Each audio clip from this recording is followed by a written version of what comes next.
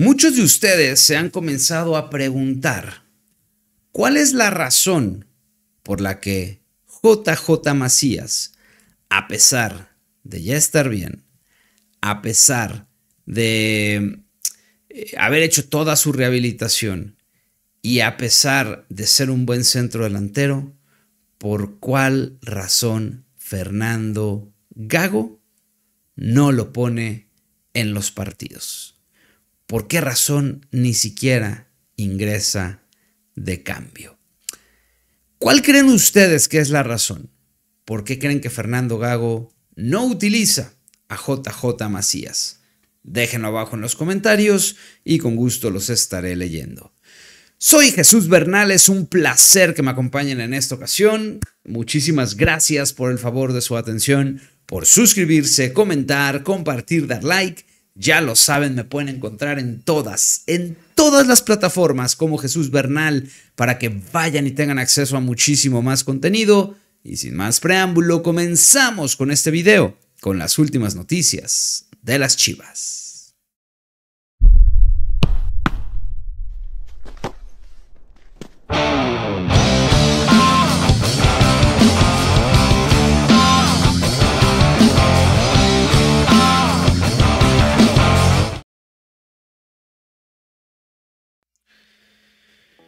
Bueno, pues si alguien la ha pasado mal en Chivas en el último año y medio y ahora que ya está bien no se ha podido afianzar, es precisamente JJ Macías.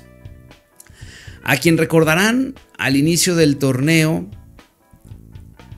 le dieron muchos minutos, en realidad jugaba por una especie de emergencia porque no había otro 9, no estaba Chicharo, no estaba Marín. Eh, la hormiga venía debutando apenas y por eso es que eh, le dieron oportunidad. Justo ahí lo observa Fernando Gago. Después de eso dejó de jugar, terminó digamos de, trabajar en su rehabilitación y apenas va, va ahí agarrando este futbolista. Bueno, pues eh, muchos se preguntan por qué. Y, y la respuesta es porque no te aporta en la construcción y generación de juego lo que sí ha aportado Ricardo Marín. Está claro que hoy la opción 3 en el ataque de Chivas es Macías. Marín y Chicharo están por encima de JJ. José Juan es, todo un rematador. Yo siempre lo he dicho, tú ponlo de frente a portería y va a marcar. Pero no le pidas que sea partícipe de la construcción del juego. No es su mejor función.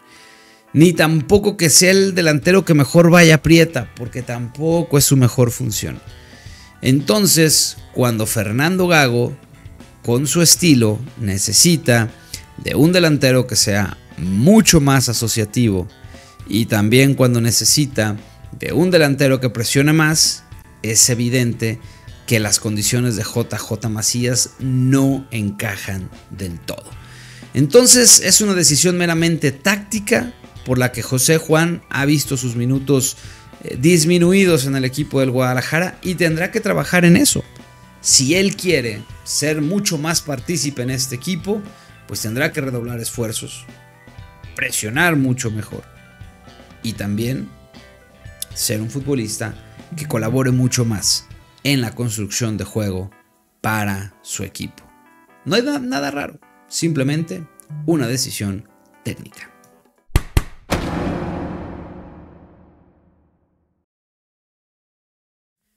La victoria de Chivas sobre el equipo de Monterrey alcanzó para escalar en puntos pero no precisamente en la tabla general. Esto no deja de lado que el triunfo haya sido bueno, porque el hecho de que Chivas no escalara es porque ganó León, porque ganó Querétaro, y esto no permitió que el rebaño despegara. Sin embargo, aprovechando los resultados, por ejemplo, de Necaxa y Pachuca, ahí sí recortaron distancia, de igual forma con Cruz Azul que empató ante el equipo de los Pumas. Entonces vamos a revisar ¿Cómo es que está el tema de la tabla? Para que vean. Buscamos el lugar 10, ahí está Chivas, que no subió puestos, pero se, afianza un poco más a esta zona del play-in con 19 puntos. Para mí lo importante y lo valioso es que si buscamos la zona de clasificación directa, que es donde está agarrado Pachuca con 22 unidades, Chivas ya está nada más a 3 puntos. Recortó a 3. Y eso es muy importante porque ya estás a un partido ahí. Y en ese sándwich de equipos que va de Chivas hasta Pachuca, te toca enfrentar a dos en los últimos partidos. Precisamente los Tuzos y el equipo de Querétaro. Entonces, como les digo, si bien en posiciones no escalaste, numéricamente te permitió apretar mucho más esa zona del sexto al décimo. Y tienes dos rivales directos ahí. Entonces, obviamente hay que ganarles, pero el mar se abrió con el triunfo para pensar en que el equipo de Chivas pueda, pueda llegar incluso a la clasificación directa. ¿Qué necesita ganar? Si gana sus cuatro partidos restantes, bueno, se anda metiendo hasta en los mejores cuatro probablemente. Pero no sé si le alcance para ahí. Si saca 7 puntos, yo creo que está para ir directo con 26. Ahora, lo, sería muy importante que esos 7, pues sean, que de esos 7, Pachuca y Querétaro representen 6, porque son rivales directos. Pero habrá que ver en la matemática lo que ocurre y dentro de la cancha, pero por ahora el triunfo fue muy importante para acercarte a la posibilidad de clasificar directo a la liguilla.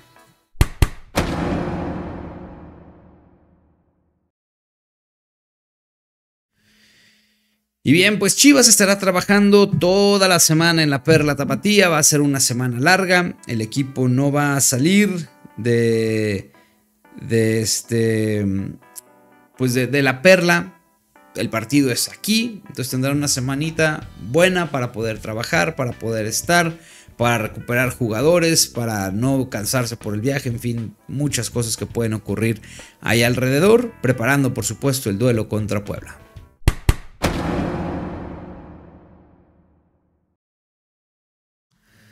Y este partido Chivas contra Puebla se disputa el próximo día sábado.